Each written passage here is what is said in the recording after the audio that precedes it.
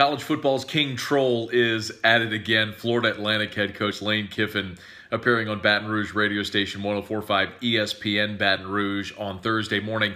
Took aim at LSU fans, referencing the 2014 LSU Alabama game where the Tide trailed until the final minute. They would tie it, send it to overtime, and win it there. Kiffin said, quote, it's because Tiger Stadium wasn't loud enough. We were able to whistle from the sidelines to audible to the pick play.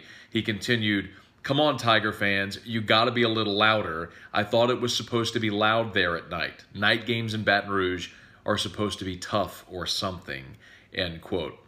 Lane Kiffin, as offensive coordinator at Alabama, never lost to LSU. In fact, the Crimson Tide have won seven straight in that series. The two teams do play in Baton Rouge this year on November 3rd. Kiffin's FAU Owls not scheduled to visit LSU, but they will open up the season at Oklahoma in Norman. Matt Moscona, Fan Media.